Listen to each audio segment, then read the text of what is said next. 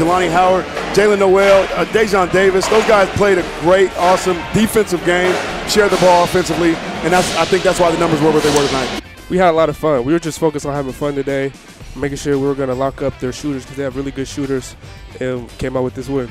Garfield is not three players. Mhm. We are 12 players deep, and everybody on the team believes that, and everybody has confidence in themselves to know that when they come out, they're going to do what they do. This year, you have teams that are A, B, and C. You don't just have A and E teams.